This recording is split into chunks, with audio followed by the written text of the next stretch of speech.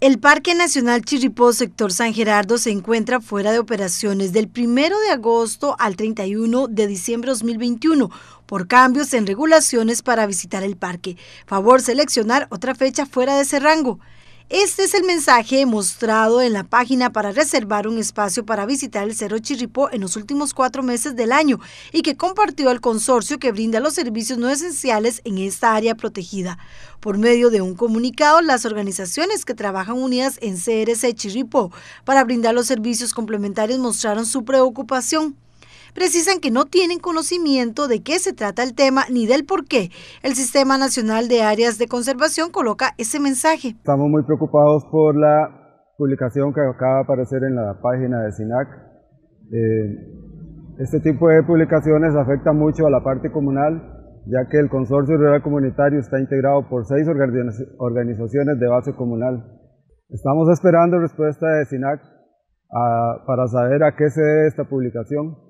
Esto nos va a afectar mucho porque el, compromiso del Consorcio Rural Comunitario es trabajar lo mejor que se pueda para que los servicios en Chirripó se mantengan constantemente y con la calidad a la que estamos acostumbrados. El mensaje que les podemos enviar en este momento a todos los amigos que disfrutan de visitar el Chirripó es que eh, tengamos eh, la esperanza de que muy pronto podamos habilitar nuevos espacios en coordinación con el SINAC.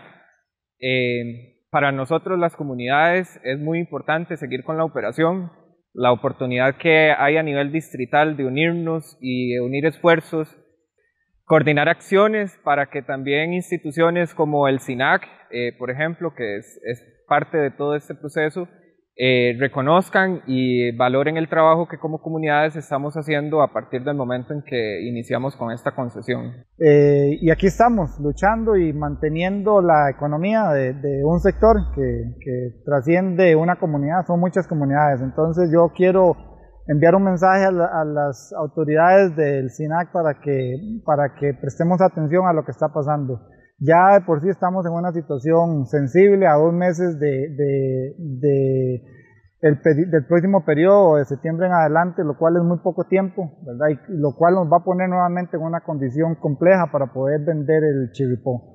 Y de eso dependemos muchas personas y familias y comunidades y organizaciones. Entonces tenemos que avanzar y avanzar rápido para resolver este tema y que ojalá que el público, que no es el único, pueda disfrutar de los beneficios que genera el chiripó. Sabemos a qué se refiere el SINAC con este mensaje, más sin embargo queremos externarle un mensaje positivo de que nosotros como organización eh, nos mantenemos con todo lo que requiere el contrato que mantenemos con SINAC para poder operar dentro del parque. Estamos listos ya para que ese sistema se habilite y ofrecerle al cliente los servicios de hospedaje, alimentación, acarreo, tienda, alquileres dentro del parque. En el consorcio manifiestan que como contratistas cumplen con todos los aspectos del contrato que mantienen con el SINAC.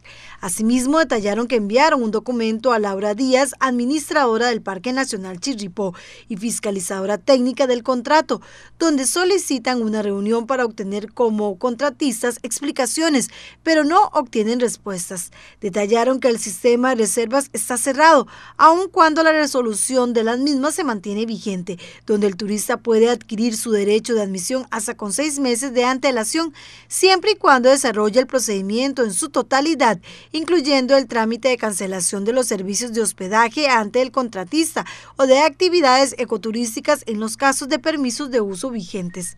La resolución indica hasta con seis meses de antelación y lamentablemente a tan solo dos meses de llegar a septiembre de 2021 no tenemos de parte de SINAC un mensaje que nos indique cómo y cuándo se proyecta habilitar el sistema de reservas de manera que se cumplan los parámetros establecidos en la resolución de reservas precisan en el comunicado.